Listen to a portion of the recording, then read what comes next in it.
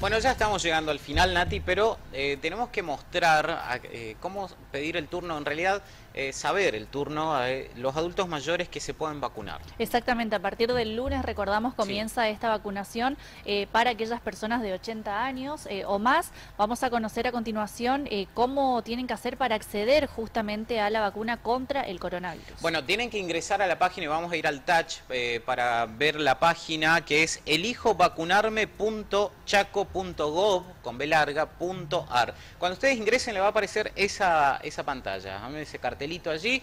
Recordemos es desde el lunes para mm, personas de 80 años o más, es la primera etapa. Allí tienen que ingresar el DNI de, la persona que quieren este, saber qué día y horario y lugar se tiene que vacunar.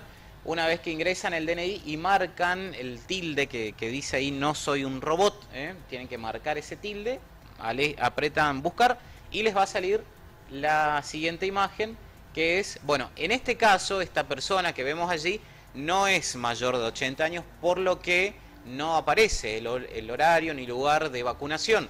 Pero ahí dice que ya están los datos. Seguramente esta persona es mayor de 60 años. ¿eh?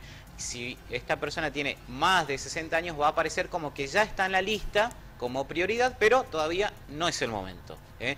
Eh, medida que avance las diferentes etapas, recordemos, desde el lunes primero de marzo, desde personas mayores de 80 años, tienen que ingresar a esta página que es www.elijovacunarme.chaco.gov.ar allí ponen número de DNI y les va a aparecer en qué momento, en qué lugar, a qué hora y qué día tienen que ir a vacunarse obviamente aclarar que la vacuna no es obligatoria. Perfecto, Guille, entonces para pasar en limpio, las personas que no tengan 80 años eh, también pueden anotarse y esperar a, su turno a que llegue el momento. En realidad no es necesario que se anoten en ningún lado, no es necesario que anoten ni que rellenen ningún tipo de formulario porque ya los datos están. Eh, si tienen mayor, eh, si tienen más de 60 años por el número de DNI, por el año de nacimiento, ya saben que tienen más de 60 años, están en la lista pero no tienen asignado día y horario todavía, excepto las personas mayores de 80 que comienzan a vacunarse el lunes próximo. Bueno.